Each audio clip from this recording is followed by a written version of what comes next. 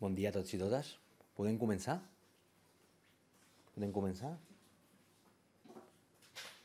Doncs bon dia a tots i totes. No podíem començar d'una altra manera avui en aquest breu faristol que fem referència a la notificació de la sentència del dia d'avui.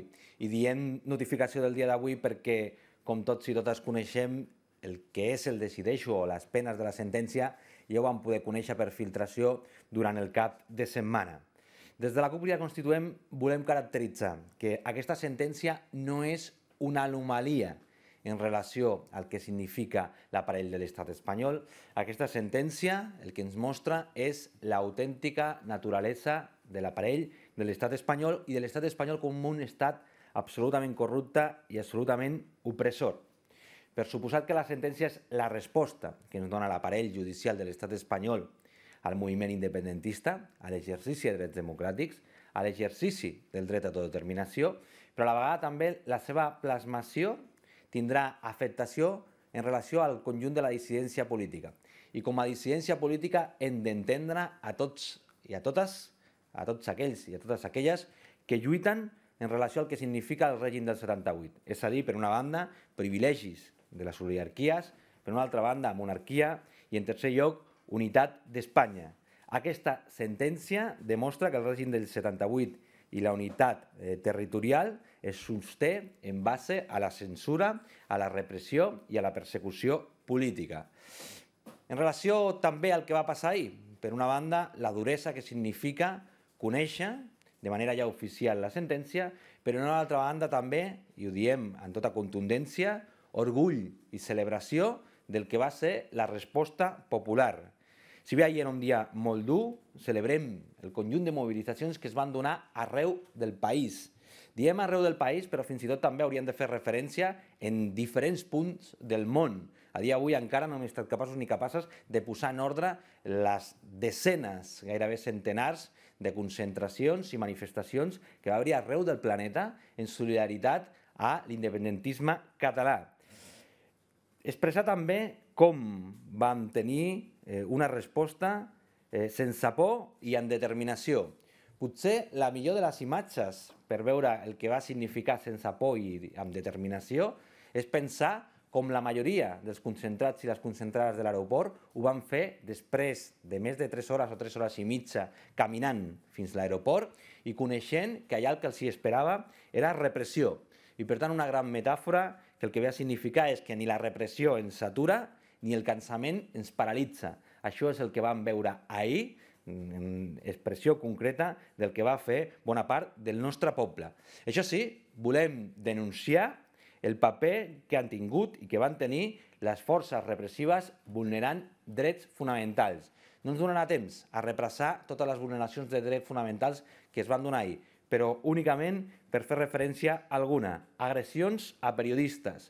Periodistes perfectament acreditats amb el seu braçalet i la seva armilla i que van causar un total de 11 ferits en relació a aquelles persones que juguen un paper fonamental a la societat per poder informar-nos i que ahir no únicament s'arriscaven físicament, sinó que s'arriscaven també des d'un punt de vista professional. I per tant, primera eh, condemna clara del que va significar el paper repressiu de les forces de seguretat. Ús de pistoles de foant a poca distància en espais tancats. No cal que ho repassem perquè crec que tots i totes hem pogut veure els vídeos de com es disparava foant d'una manera absolutament irracional i que no respon absolutament a cap lògica si és que pot haver-hi en algun moment alguna lògica per justificar utilitzar el foant. Suposat que per nosaltres no hi ha cap lògica càrregues eh, per sobre de la cintura i a persones que estaven abandonant els llocs de concentració. En pura venjança, moltes vegades, quan veien que hi havia qui abandonava els llocs de concentració i eh, els hi disparaven. Atropellament com a mecanisme de dispersió. Hem pogut veure diversos vídeos on apareixen evidentment, vehicles policials que utilitzen l'atropellament com un mecanisme de dispersió. I, si es confirma la notícia que aquest matí hem conegut, la pèrdua d'un ull per pilota de goma disparada per la Policia Nacional Espanyola. Pilotes de goma que volem recordar en aquesta seu que han estat prohibides pel Parlament de Catalunya. Per tant, aquells i aquelles que venen a dir que el que fan al nostre territori és garantir la legalitat, que incompleixen la legalitat i que, a més, reconeixen públicament que incompleixen la legalitat. Nosaltres no ens, no ens cansarem de demanar la dissolució de la Brimo, Eh, després també farem alguna proposta concreta i no ens cansarem de dir, en tot cas, que s'ha d'assumir responsabilitats per a aquells i aquelles que són els responsables polítics d'aquesta violència. Al respecte, estem demanant ara mateix la compareixença en respectives comissions, per una banda, del senyor Grande Marlasca, per una altra banda, del senyor Buch i, en tercer lloc, de la senyora Conillera, com a principals responsables polítics de la violència que van viure el dia d'ahir. No ens imaginaríem, això sí, que quan aquesta sol·licitud de compareixença arribi a comissió o a comissions, es torni a repetir situacions com la de votar en contra per part de Junts per Cat i Esquerra Republicana la compareixença del senyor Buch. Pensem que no hi ha cap justificació perquè hi hagi un responsable polític que pugui compareixer en aquest Parlament i pugui explicar què va passar ahir com a màxim responsable. Per tant, insistir en la idea fonamental que, evidentment, també els nostres drets fonamentals passen per fiscalitzar l'actuació dels responsables polítics quan el que hem tingut són accions de violència desenvolupades per les forces de seguretat. I no únicament eh, volem denunciar, sinó que també volem fer proposta. Proposta política. Proposta política que passa per recuperar la lluita al carrer, per recuperar la mobilització. Nosaltres no eh, repetirem aquest mantra de que el moment actual passa per enfortir les institucions i a la vegada també deixar que les institucions es debilitin per cent.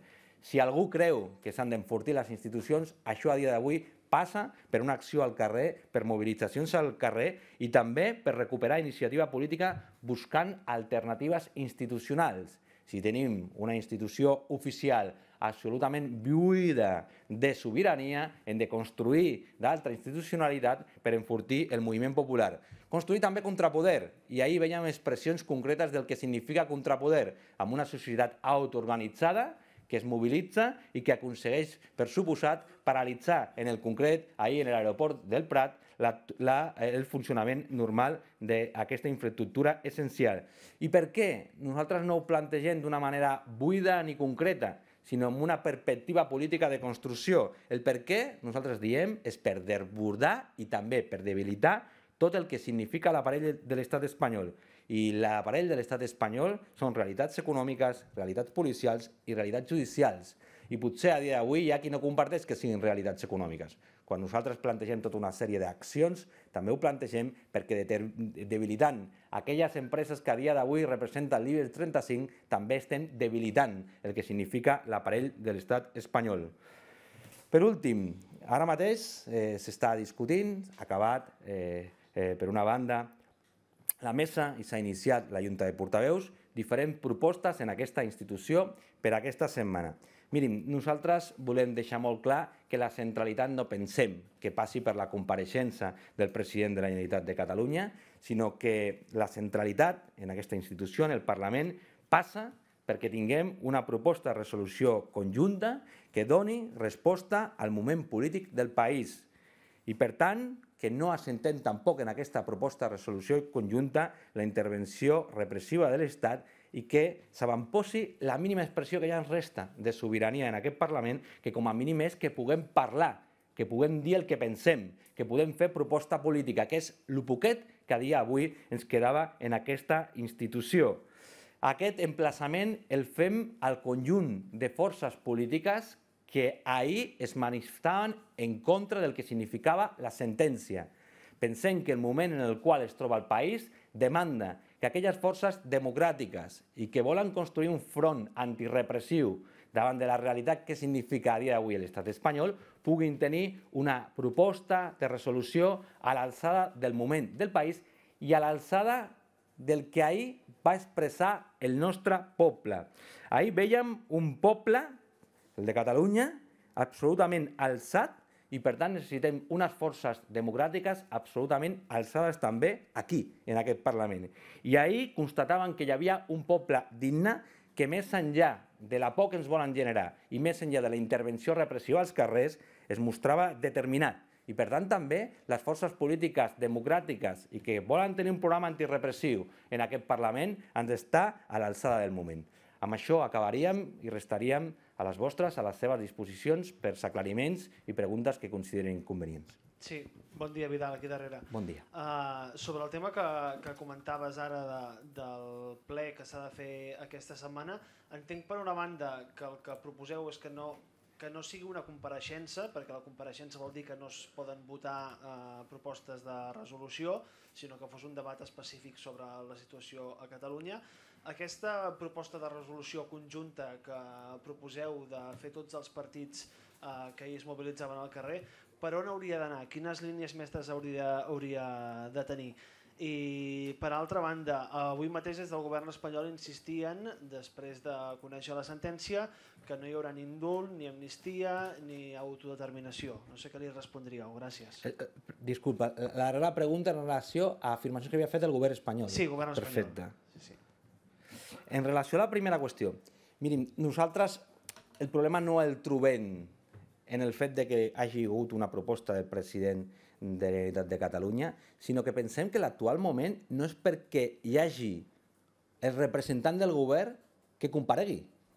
No es tracta d'això. Tenim una situació d'excepcionalitat que s'ha d'abordar de manera col·lectiva, de manera col·lectiva en relació a totes les forces polítiques que ahir criticaven les sentències. Potser ens podem equivocar, però ens semblava que Catalunya en Comú Podem, la CUP, Esquerra Republicana i Junts per Cat fèiem una crítica al que significava la sentència. I per tant no ens podem quedar única i exclusivament amb una proposta de compareixer el president de la Generalitat de Catalunya, sinó a intentar donar una resposta a l'alçada del moment i a l'alçada del que ahir expressava el poble de Catalunya mobilitzat.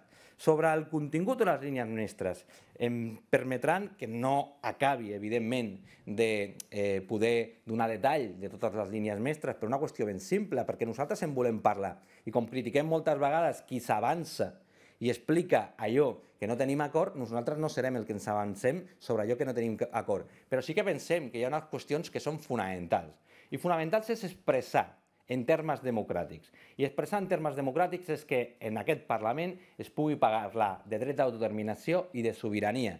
Perquè si algú assumeix que en aquest Parlament no es pot parlar de dret d'autodeterminació i sobirania, que ens expliquin per què serveix aquest Parlament. Per què serveix? Si ja ni tan sols podem parlar d'això. D'això, al llarg de la història d'aquest Parlament, s'ha parlat en molts moments, no únicament en la darrera etapa, de puixança independentista, sinó d'altres moments històrics del Parlament i per tant no serà pas la CUP qui renunciï a un exercici de drets democràtics i allò que és l'os fonamental del seu programa polític. Però pensem també que no ens hem de quedar únicament amb aquests elements d'autodeterminació i sobirania, sinó de la resposta que necessita el país i per tant en aquesta proposta de resolució també hauria d'haver-hi elements que determinin per on passa la proposta o la resposta que necessita el país. I sobre la segona de les preguntes, sobre el que ha manifestat el govern de l'estat espanyol, doncs mirin, eh, agafarien vostès els faristols que ha fet aquest subgrup parlamentari en els darrers anys i ens haurien de ratificar exactament en el mateix. A nosaltres no ens sorprèn que el govern de l'estat espanyol, ara un govern en interinatge de Pedro Sánchez, ens digui que no es parlarà d'amnistia, no únicament d'amnistia, sinó que no es parlarà d'extinció de pena, que no es parlarà de dret d'autodeterminació, no ens sorprèn. És el que significa el govern de l'estat espanyol que el dia que notifica la sentència es veu obligat a treure un vídeo per la comunitat internacional intentant justificar que l'estat espanyol és un estat democràtic. Algú creu que si realment un estat es considera a si mateix democràtic, ha de preparar un vídeo per la comunitat internacional on es justifica sobre això, doncs està traslladant-nos allò que per la CUP és la naturalesa de l'estat espanyol. Un estat que a dia d'avui no vol parlar, no vol cap tipus de diàleg, no permetrà cap tipus d'amnistia i no ens permetrà cap element d'expressió democràtica com significa el dret d'autodeterminació. I per tant, res nou. Si algú encara continua eh, intentant traslladar que eh, la seva proposta política passa per intentar arribar a acords amb el Partit Socialista o fins i tot per fer president del govern espanyol al cap de llista del Partit Socialista que justifiqui. No som pas nosaltres que considerem que l'escenari és un altre. Bon dia. Més enllà d'aquest emplaçament públic que feu a la resta de forces polítiques que rebutgen la sentència per una proposta de resolució, no sé com van les converses en, uh, fora dels focus, si ja s'han iniciat, si sou optimistes o no i si aspireu i creieu que aquí s'hi haurien d'incorporar els comuns. Eh, mirin, eh, nosaltres fa dies que estem parlant, eh, encara que no ho hem explicitat, crec o creiem que tothom ho sap, i més ells i les que esteu en aquesta casa, però no volem especular amb que sí o que no. Nosaltres fem proposta política. Fem proposta política sobre allò que és lo material i per tant no valorem que puguin o que no puguin estar fent d'altres. El que ens interessa és l'objectiu final, no tant sortir a anar a criticar a d'altres forces polítiques. I sobre les qüestions comuns, nosaltres no ho plantegem des de la perspectiva que s'incorporin ara. Per nosaltres, han estat sempre i haurien d'estar sempre perquè el que plantegen en l'actual moment és una qüestió que ells també s'hauran de pronunciar en relació a quina resposta consideren que s'ha de donar a la sentència que es va notificar ahir. Quina resposta consideren que s'ha de donar a que hi hagi un tribunal constitucional que vulgui generar el dubte en aquesta casa de si podem parlar de dret d'autodeterminació o si no podem parlar de dret d'autodeterminació, si podrem parlar de sobirania o no podrem parlar de sobirania. Perquè això és una primera part. Si acceptem aquesta realitat, el que ve el dia de demà és si podem parlar d'unes determinades polítiques socials o no podem parlar d'unes determinades polítiques socials, que és l'expressió que sempre té la repressió política. I el que estem tenint amb el Tribunal Constitucional, amb el Tribunal Suprem, és eh, repressió política pura i dura.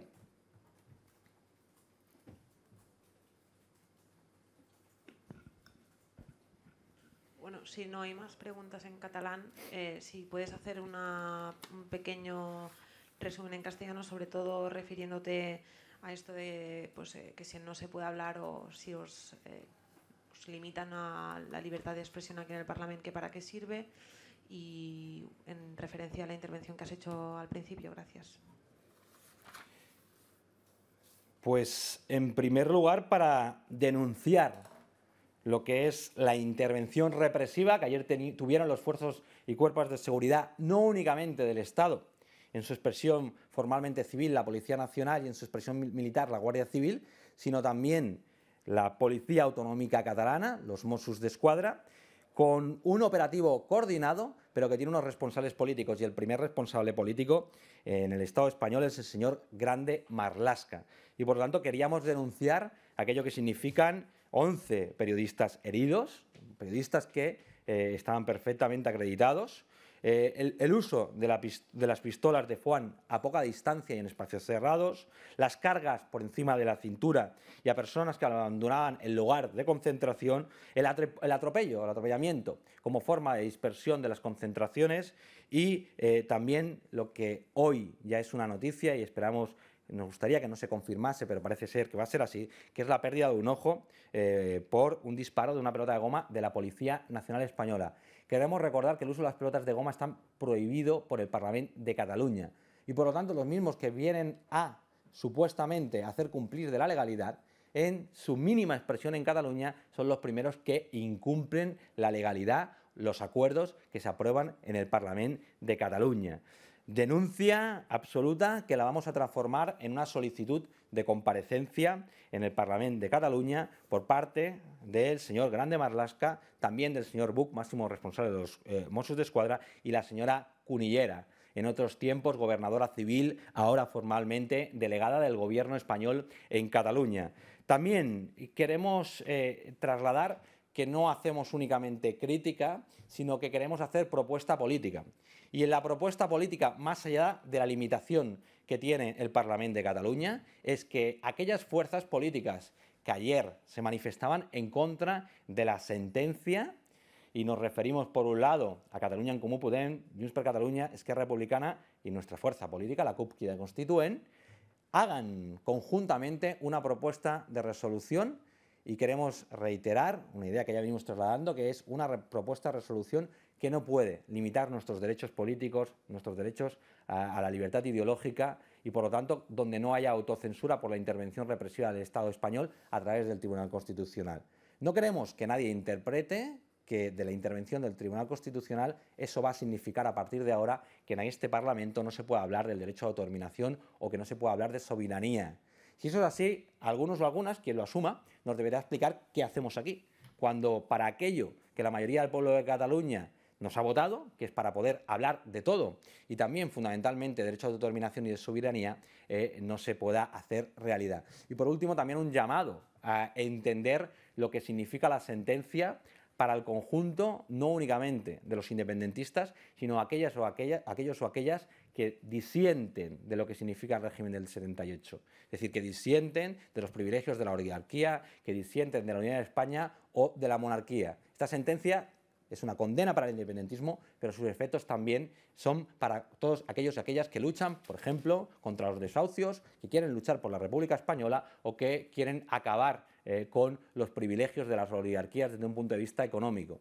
Denuncia que hacemos extensible para un llamado a la solidaridad al conjunto de los demócratas del Estado español. Esto no es única y exclusivamente una lucha entre independentistas y no independentistas, lo que es fundamentalmente es una lucha entre aquellos que creemos entre los derechos democráticos y aquellos que no permiten ejercerlos. Sí, aquí una pregunta. Eh, ¿Para la CUP hay algún límite al derecho de manifestación? Y también saber si, si no les chirría que a nivel institucional eh, haya como máximo una resolución y en cambio eh, se, se, traslade la carga de la protesta y de las consecuencias personales a la gente que está en la calle. Gracias necesitaría que me aclarase la primera pregunta exactamente que me está preguntando. Sí, sí, para la CUP, ¿cuáles son los límites de, del derecho de manifestación, si hay alguno? Pues mire, eh, en relación a esa eh, primera pregunta, el derecho a manifestación se ha conquistado no únicamente en los países catalanes, no únicamente en el Estado español, sino en el mundo a través de ejercerlo. Y por lo tanto, no creemos que a priori pueda haber ninguna limitación del derecho de manifestación. No nos vamos a cansar de decirlo, que no seremos nosotros los que hagamos una restricción del derecho a manifestación. Y el derecho a manifestación significa lo que significa, no significa otras cosas. Y por lo tanto, cualquier elemento previo que quiera censurar el derecho a, manifestación, nosotros estaremos en contra, absolutamente en contra. Entre otras cuestiones porque no existirá una sociedad democrática si no tiene un derecho a manifestación desde un punto de vista de lógica jurídica absolutamente amplio. Y por lo tanto no será la CUP quien se aparezca para ir a limitar el derecho de manifestación. Por cierto, todavía en la Constitución española como un derecho fundamental, que hay algunos y algunas que se olvidan y deberían de entender cómo tiene que entrar en lógicas de proporcionalidad cualquier intervención de limitación del derecho de manifestación.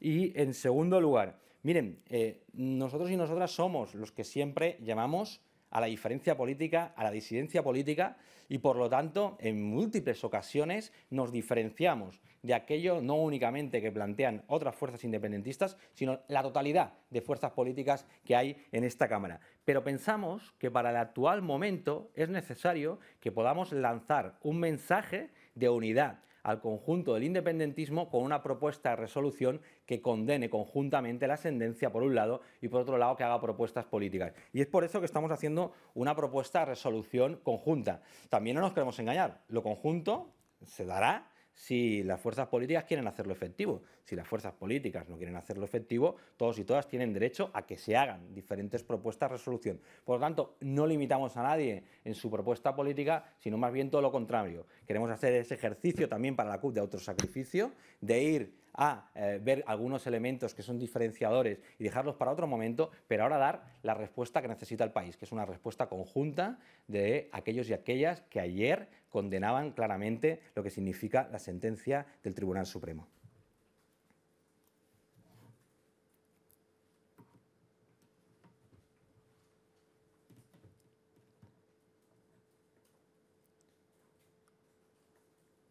¿Qué pregunta más? ¿Alguna otra pregunta? Acabaríem aquí? Doncs moltes gràcies.